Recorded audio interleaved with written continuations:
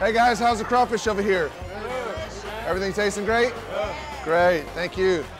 Grew up in Rayne, Louisiana. I'm right on this side of Lafayette, and crawfish has been in my blood for many years, so it was a perfect fit. It's a Louisiana tradition, but it's spread to Texas. It's very, very popular across the Houston area. Best crawfish in Texas. Crawfish, crawdads, mud bugs. It doesn't really matter what you call them because when the right time of year rolls around, it's really only about where to find them. And in Crosby, there's a place packed with people cracking open crawfish. This has got to be the busiest restaurant in the state of Texas, is it? For crawfish, yes sir, it is. Started 14 years ago as just a little drive-through. We were actually the first crawfish to go in all of Harris County. Had two tables the second year, four tables the third year, and now we have 61 tables that are packed every day. For owner Dan Meaux, packed tables have become normal at the Crawfish Shack. Known for selling around 6,000 pounds a day, some folks say there are more crawfish cooked here than any other boiling pot in the state.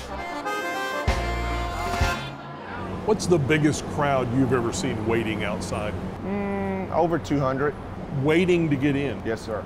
Well, they wrap around the building into the back fence, and it's pretty exciting, depending on the time of the year.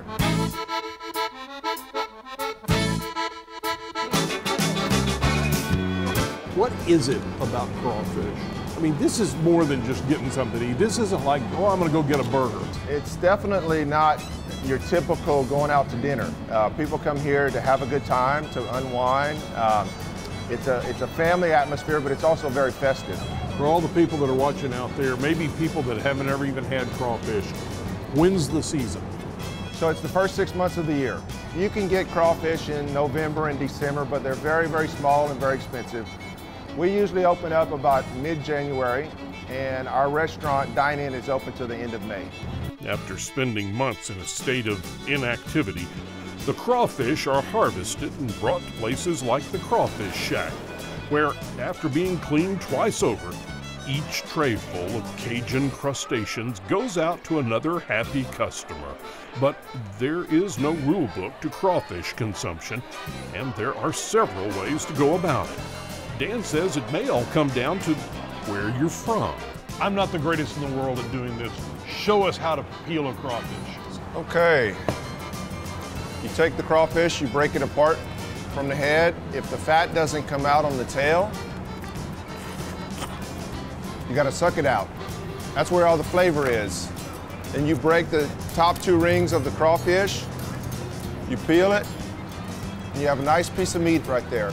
If you really are an authentic crawfish eater or if you really want the full flavor of the crawfish, the fat in the head is, is full of flavor. It's, it's a natural buttery flavor.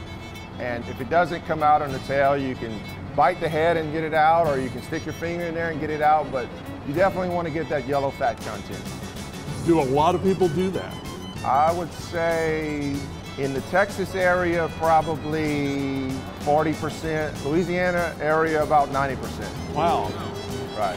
What you're telling me is Louisiana people suck more than Texas people. Absolutely. Okay. At least I got you to admit Yes, that. sir, that is correct. Well, after learning from the master, we decided to put our skills to the test by having Kelli and our producer Quentin, who each claim they can eat more crawfish than anyone else, have a good old fashioned crawfish eating contest. Go.